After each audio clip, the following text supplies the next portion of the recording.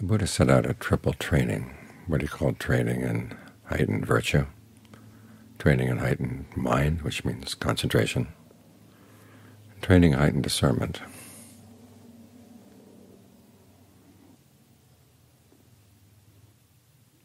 When you hear that list, it seems like you have to perfect your virtue first, and then you go to your concentration, and then you perfect your concentration before you can develop discernment.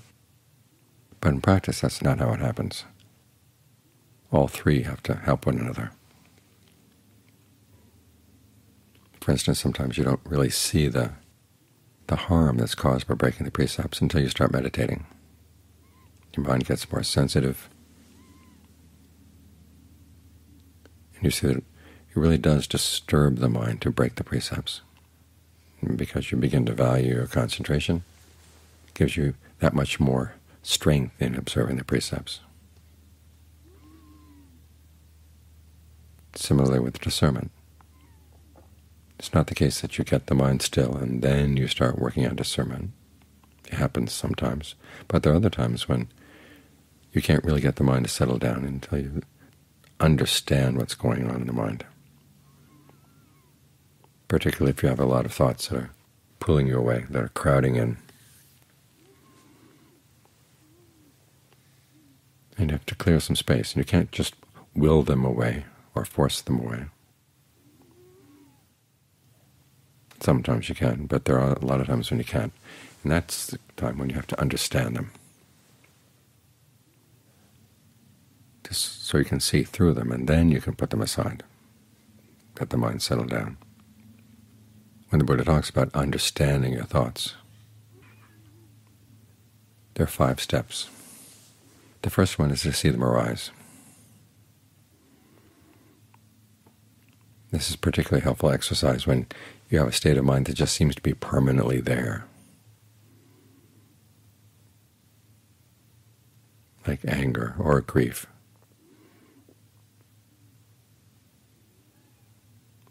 or depression. It seems like those thoughts are just there all the time. So you can see that they actually arise at one point and fade away at another point. But when you look more carefully, you see that they do. No thought is permanently there, no emotion is permanently there. There is some confusion that's caused by the hormones in the body. Say anger arises, and then it goes. But when it's in force, it gets some hormones churning in your bloodstream.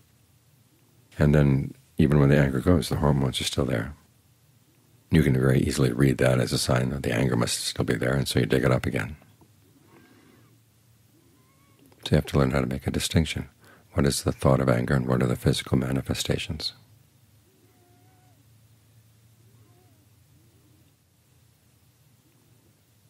When you see something arise, it's not just a matter of watching its arising. You want to see what sparked it. Or in the Buddhist terms, what's the origination? The word samudaya means what comes along with it as a cause. And sometimes you'll see that a particular thought pattern gets triggered by a certain feeling in the body.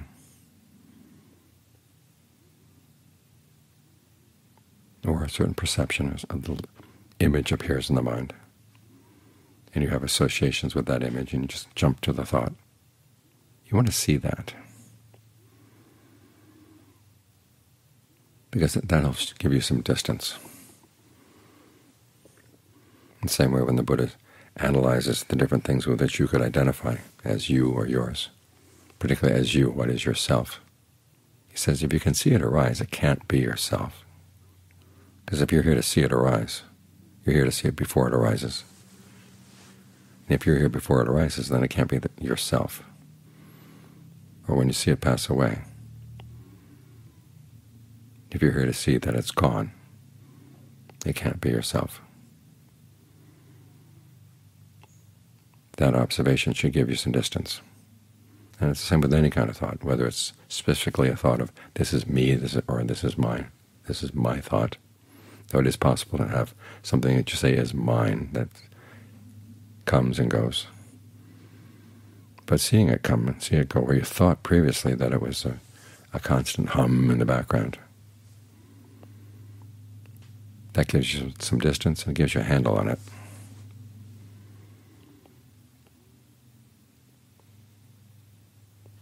So those are the first two steps, seeing the rising or the origination, seeing the passing away. No matter how many times it comes into being or passes away, you want to note when it's there and when it's not. When it does come back, what sparked it. And then beyond that, that's the third step, is to see the allure. What is it you like about this? Now the liking here may not be saying, well, I just really enjoy this kind of thinking. There may be a sense of compulsion. You feel compelled to think this way. You feel that you ought to think in this way, especially with worries. There's a part of the mind that says, if I don't worry enough, I'm not preparing for the future. And you feel virtuous about worrying. Or with grief. There comes a point where you feel, if I'm not feeling grief, I'm not being loyal to the person or the situation that I've, I've lost. So the allure here may not be a pleasant thing, but a sense of obligation. But notice that. What is it that the mind feeds on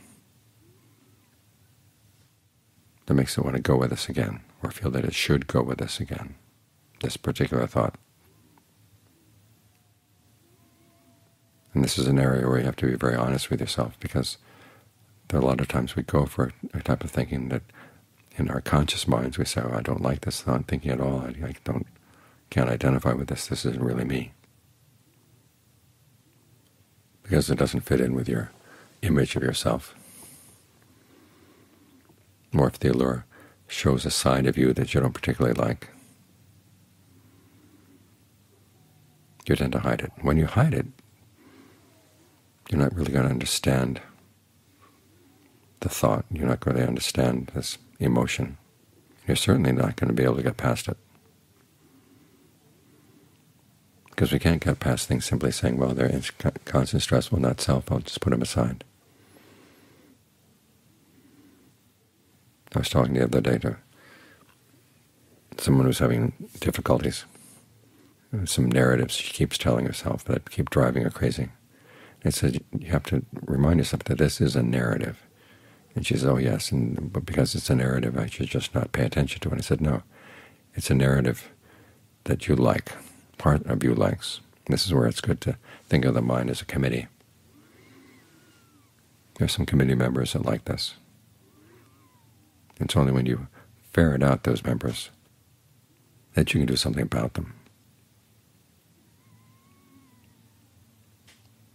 Because then the fourth step is to really look carefully at the drawbacks of that kind of thing. Where is this going to take you? If you were to think this thought for a day and a night, where would it lead you? If you were to act on it, where would it lead you? If it's going to, if acting on it meant that you would do something really unskillful, why go with it?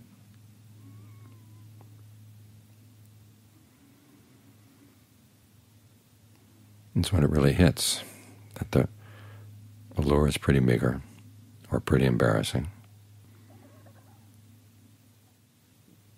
And it certainly doesn't compensate for the drawbacks. That's when you get to the fifth step, which is dispassion. You outgrow the thought. It loses its appeal.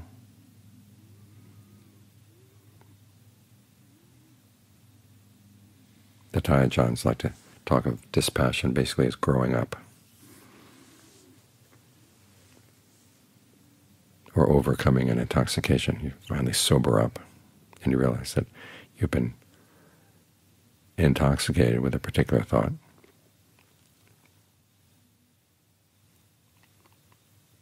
And now your understanding of that way of thinking is clear. You can step outside it. So that the next time it comes back, it doesn't have the same appeal. And you get a greater sense of distance from it. When you can get distance from it, that's when the mind can settle down.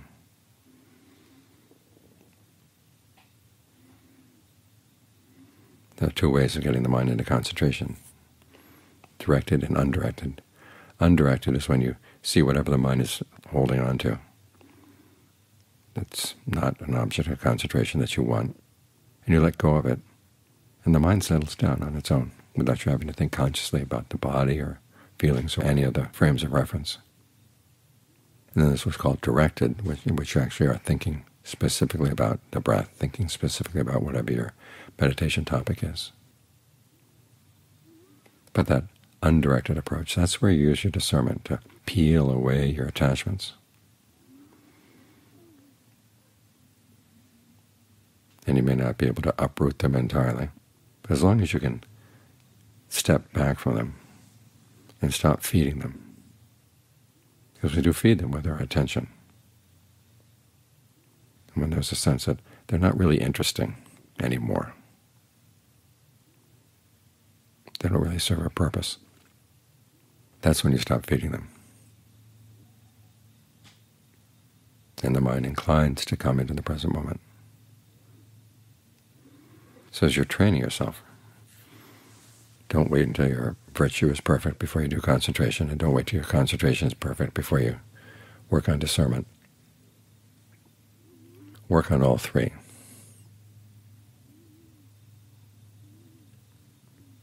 And using discernment here, it requires some thought. Those techniques where they say just note, note, note, and you're going to get insight. You gain a certain amount of insight, but it's a lot you're going to miss if you don't look in terms of these five steps. When the Buddha talks about insight, it's always in terms of seeing the origination, seeing the passing away, the allure, the drawbacks, and the escape through dispassion. When you see all those things, that's when you really understand what's going on in the mind.